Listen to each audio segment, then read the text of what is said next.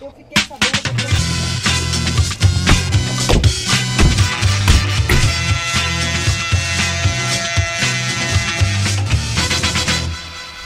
Há quanto tempo você não anda numa Brasília? Muito tempo.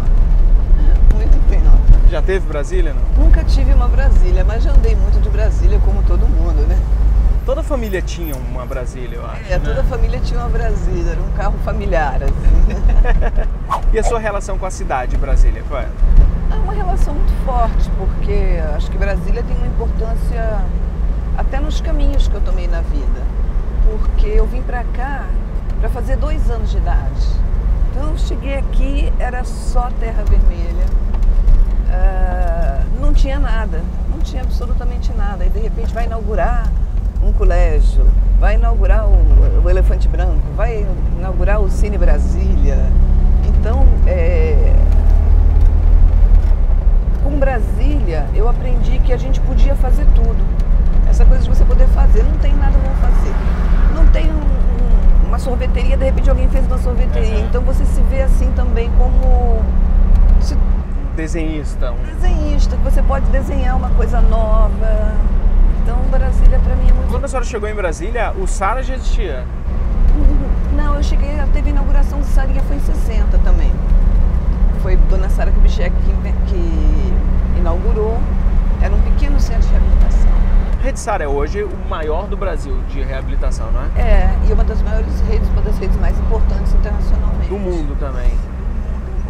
Não só maior, como mais importante, mais inovador, enfim. Fruto de Brasília, que é um Fruto de Brasília, porque em Brasília a gente pode criar, ser inovador, não é? Eu acho que é por aí. Eu acho que e, tem muito a cara de nasceu em Brasília. Rede Aham, Sara. aham. E o que é que levou a senhora a querer trabalhar lá? eu fiz um projeto de pesquisa e levei no CNPq, tinha que ter um professor para assinar, tinha um maestro maravilhoso, Emílio Terraça, ele assinou o projeto comigo como supervisor, que era um projeto que objetivava crianças com lesão de cérebro na época. Eu levei no hospital de base, ninguém nunca me deu resposta lá, e levei no SARA, o pessoal do SARA me autorizou a fazer. E aí eu comecei a Ainda hoje o Hospital de Base não te respondeu? Não, ainda Será não. que agora eles se interessam pelo seu projeto? Talvez. Mas acho que talvez não também. isso Ficou lá. Mas aí a senhora chegou no Sara. Aí eu cheguei no. SARA, aí o- no SARA foi aprovado, eu comecei a trabalhar, não tinha lugar para trabalhar. Isso também foi maravilhoso, porque, por exemplo, não tinha lugar para trabalhar, para eu trabalhar, não tinha espaço físico, não tinha onde guardar o material, então eu fui trabalhar embaixo das árvores. E isso levou você a ver que todos os SARAs, eles são abertos para as árvores, para a natureza. A gente trabalha do lado de fora, até hoje eu gosto de trabalhar do lado de fora. Eu trabalho mais do lado de fora do que do lado de dentro, sempre que eu posso. Quer dizer, quando eu estou fazendo pesquisa, ressonância magnética, funcional, ou numa reunião de gestão, naturalmente eu tenho que estar num espaço mais confinado.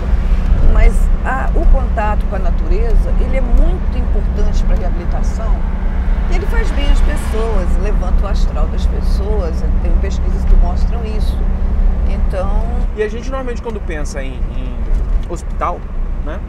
É, em qualquer coisa que envolva uma doença, uma deficiência, enfim, a gente pensa em hospital. Aquela coisa fria, verde água, branco, né? Gela, frio, inclusive fisicamente, né? Clima, o clima frio. É, e é o inverso, né? Isso eu acho que uh, talvez faça tão mal quanto a doença, essa distância, essa É, eu acho péssimo, eu acho péssimo. E é engraçado que isso é como uma convenção internacional, que tudo é branco, que tudo é frio. Agora o SARA está mudando outros países. Desenvolvi um método eh, que eu chamo de reabilitação ecológica, que é uma reabilitação baseada eh, na vida do indivíduo. É uma reabilitação que entra na vida. Se é uma, uma criança, o que, que é contextual, o que, que é ecológico para ela? Está com os pais. Então, em vez da fisioterapeuta fazer o exercício, a gente ensina o pai, a mãe vai fazer isso brincando, de uma maneira lúdica. Isso eu fui pioneira no mundo, antes a família ficava do lado de fora. O hospital é que tinha. o- Eu sou o conhecimento, eu tenho o poder. Você é o pai, você fica do lado de fora, que eu trato seu filho. Essa técnica foi usada, por exemplo, com Herbert Viana, com, com violão? E foi, inclusive a reabilitação do Herbert, por exemplo. Foi a senhora que tratou ele? Tratei do Herbert, bem, ele veio bem na fase aguda.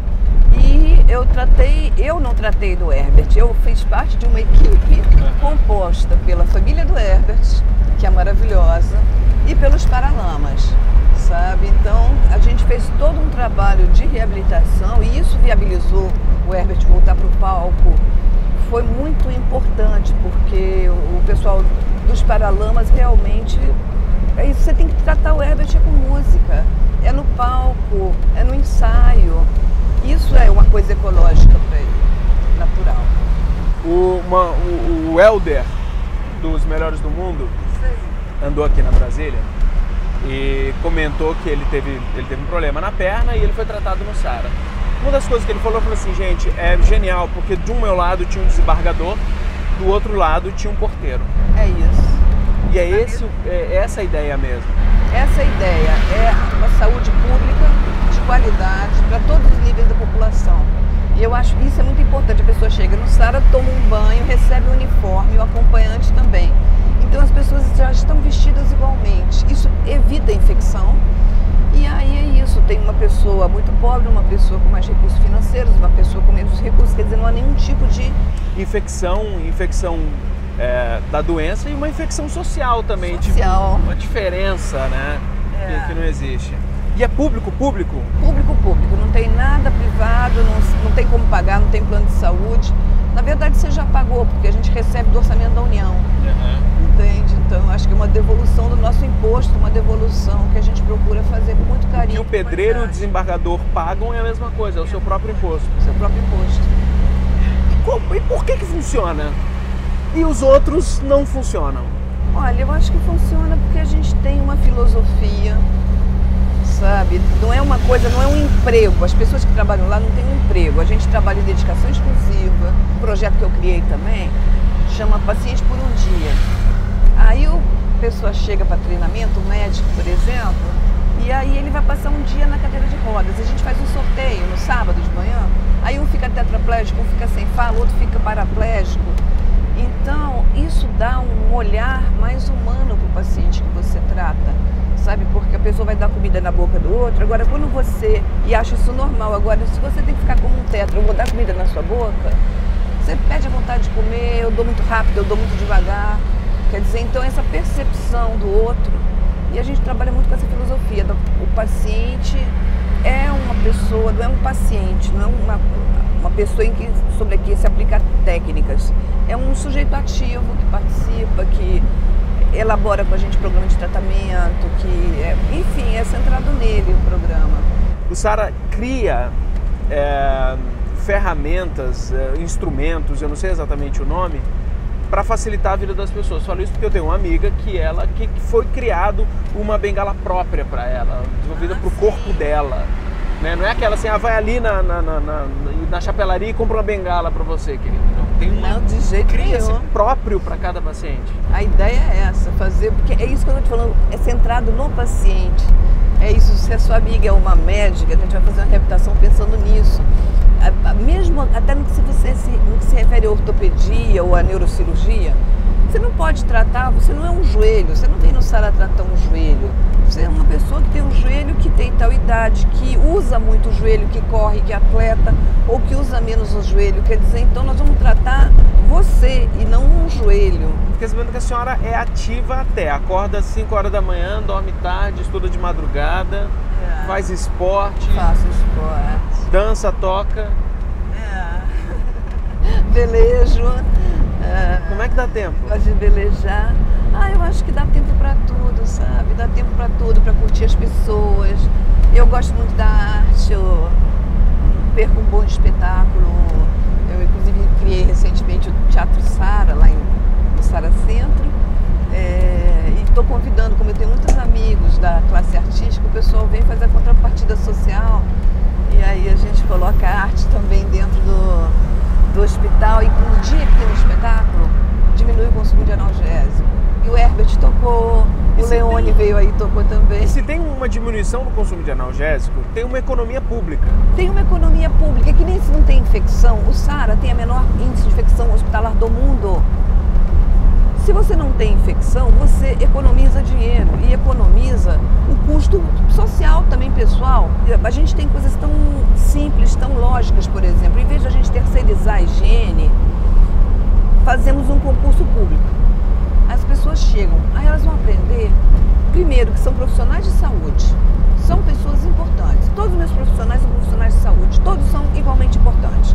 Como o paciente não tem o o, o, o rico, o pobre, o diferente, os funcionários também, o médico não é melhor do que a pessoa que faz a segurança, que faz a higiene, que faz cada a comida, que faz cada coisa do hospital. Todo mundo é importante para funcionar. O médico é muito importante também, mas também é o fisioterapeuta e todos os profissionais é, que a gente tem. E aí esse auxiliar de higiene faz a seleção, aí vai fazer um curso com os enfermeiros. Vai entender que é um profissional de saúde, vai olhar no microscópio e aí tem uma metodologia. Quem está limpando o chão, aí ele vê que tem um bicho pequeno, ele ninguém é obrigado a saber que tem uma bactéria, uhum. tamanho de uma bactéria. Quer dizer, eu passei um pano aqui na sua Brasília, estou achando que está limpo. Não está. Conversar no carro tira atenção, são áreas diferentes no cérebro, tira atenção, é um risco. Por que, que eu estou perguntando isso? A maioria dos lesionados que são tratados no SARA são lesionados por um trauma. Isso. Muitos deles por um trauma de trânsito. Isso. Isso que a gente está fazendo aqui é um problema? É conversar no carro em si não tem um problema. Agora a pessoa tem que ver o que, que vai conversar no carro. A questão do carro é tirar a atenção. Uma coisa que é seríssima é você é, segurar um celular, porque aí você já está com a cabeça no outro lugar. Porque na hora que eu estou aqui do teu lado, se há uma situação complexa no trânsito, a gente cala a boca, não é? porque nós estamos assim ao vivo. Uhum. Se começou uma chuvona, então a conversa ao vivo ela não é, não é uma conversa de risco. Uhum. A conversa, por exemplo, no celular, eu estou conversando com você no, no, celular, mesmo que seja no viva voz, às vezes, eu tô, de repente eu estou lá, você não está percebendo que eu estou numa situação de risco, que eu estou eu não tenho às cortar aquela conversa, digitar mensagem no celular. Aí é impossível. É impossível. Então quem me falar que eu tô fazendo besteira aqui, conversando e dirigindo, tá falando besteira. Eu acho que é bobagem, porque a, a não ser que as pessoas sejam sem noção, entende? Porque se você é sem noção, você tá num risco e não tá nem aí. A gente, em geral, tem noção, então a gente está num risco. E, não, então a gente fica calado e vamos prestar atenção, porque tá, tá rolando isso. Que o trânsito tem isso, tem o que, o que você faz e tem o que o outro faz. Então? Ao vivo, a conversa ao vivo é menos risco. ah, legal. Doutora Lúcia, pelo exemplo da senhora, obrigado pelo SARA, por tudo que é conduzido pelo SARA. É possível ter um serviço público de qualidade, referência no mundo inteiro, gratuito e de Brasília, que nos enche de alegria, de orgulho. Muitíssimo obrigado pelo papo. Valeu. Valeu.